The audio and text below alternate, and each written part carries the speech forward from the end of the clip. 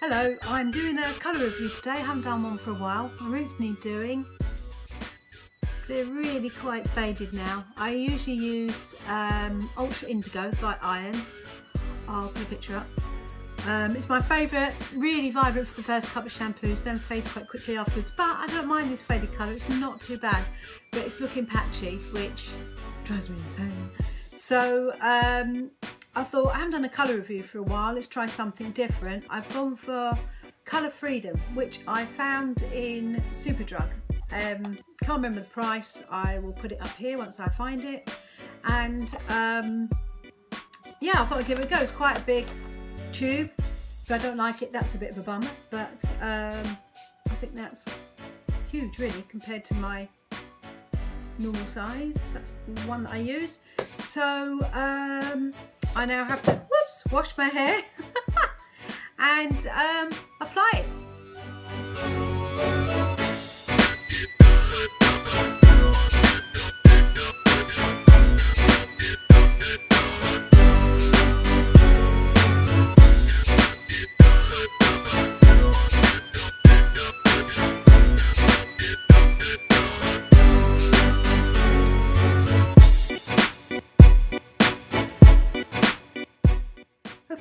right now I've just shampooed the area and not conditioned it that I'm going to colour and I've got foil just to keep it separate so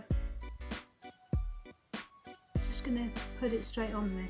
Now they give you quite a detailed pamphlet with this which I was rather impressed with.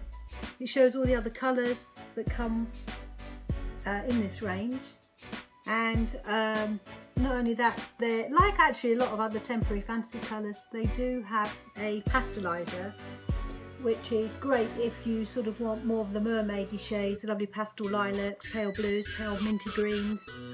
And um, I thought that was really quite useful actually because sometimes you just get a few notes on the back.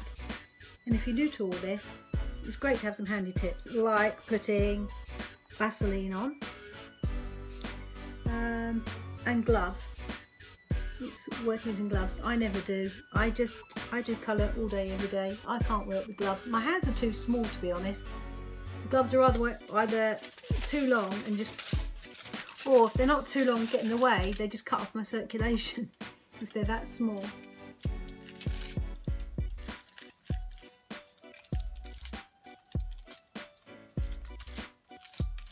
So just finish this off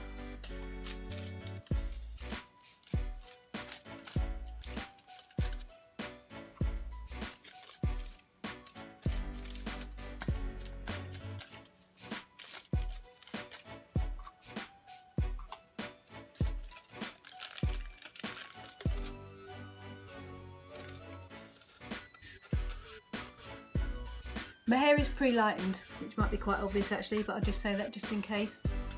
Um, but it just had the old Ion indigo colour on there before. Richard Hall had, I don't know, about five washes on it, five shampoos. I always try and use, well I do always use a sulphate free shampoo because not having the salt, it does help the colour stay in. Obviously shampooing your hair with cooler water if you can bear it Right, let's have a real good soaking. Right, okay, so now it says to leave it for half an hour to get a vibrant shade. So I'm going to stick to the rules, do exactly what it says. So, um, looking lush. I'm now going to go off and have a cup of tea, wait for that to take and rinse it out as instructed. I actually failed to notice you get a um, sachet with some gloves in the Colour Freedom packet so that's really useful. I could have used that. Also to go back and what I said about the Vaseline do not put Vaseline on your hair.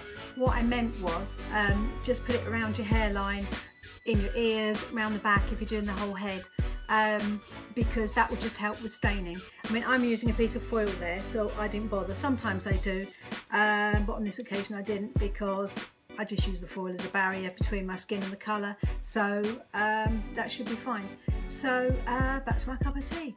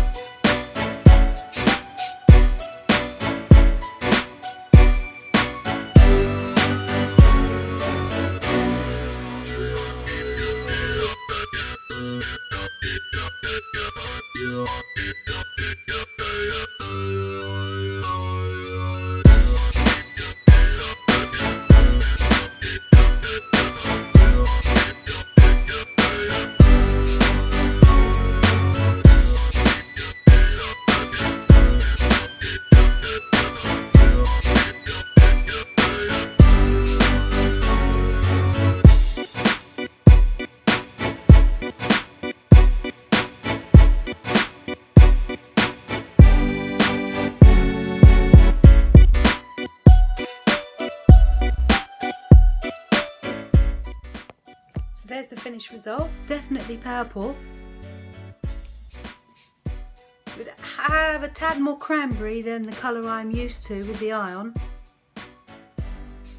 But it's got really good coverage. I didn't get any stains or anything like that. It's a cloudy day so the light keeps coming in and out but that's the final result then. So there we have it, the application of Freedom, Colour Freedom rather, um, by Knight and Wilson in the colour Indigo Night. Um, what I shall do, I'll do another video um, every time I shampoo it. I shall maybe do, I don't know, three or four shampoos over the course of the next couple of weeks um, so we can judge see what the fade is like. Um, always think that's useful when I'm trying out another colour. It's when they do these rainbow colours, they look great, but do they look like oh, a mishmash after a few shampoos. We never get to see that.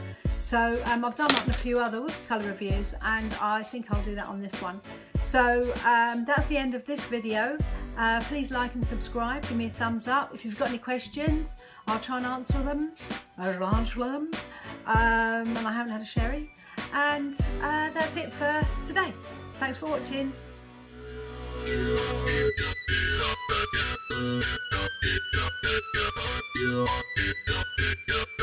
Yeah.